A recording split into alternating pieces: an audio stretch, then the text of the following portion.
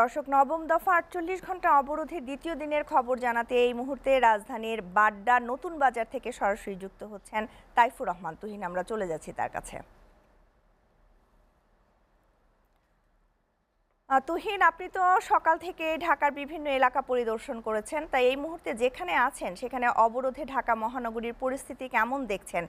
এবং দূরপাল্লার বাস কি চলাচল করছে?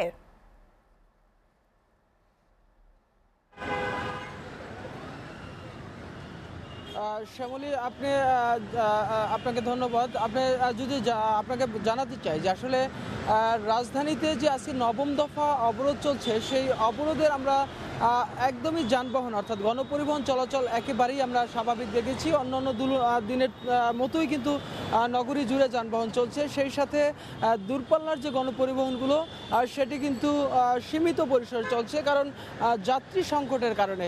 এছাড়া কিন্তু তাদের পর্যাপ্ত গাড়ি প্রস্তুত রাখা হয়েছে। কিন্তু যেহেতু যাত্রী সংখ্যা একটু কম, সে কারণে কিন্তু দূরপাল্লার যাত্রী কম চলছে। তবে নগরী জুড়ে কিন্তু গণপরিবহনের উপস্থিতি লক্ষ্য করা গেছে।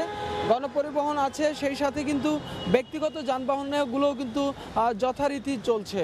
তবে আজকে এই নবম দফা অবরোধকে কেন্দ্র করে রাজধানীর বিভিন্ন এলাকায় বিএনপি এবং অঙ্গ সহযোগী সংগঠনগুলো কিন্তু মিছিল করেছে। তারা অবরোধের সমর্থনে রাস্তায় নেমেছে। তবে আপনি জানেন যে উত্তরাতে বিএনপি যুগ্ম মহাসচিব রুহুল কবির রিজবির নেতৃত্বে মিছিল হয়েছে।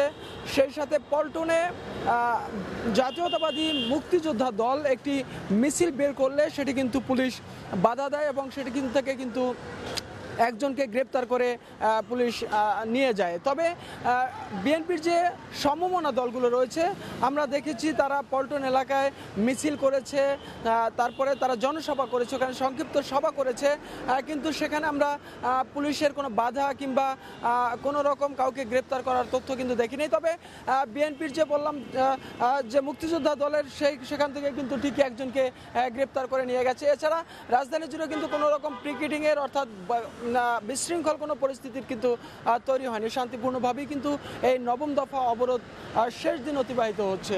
তো শ্যামলী, এই ছিল আমার কাছে রাজধানীর অবরোধের সর্বশেষ তথ্য। তুহিন আপনাকে ধন্যবাদ।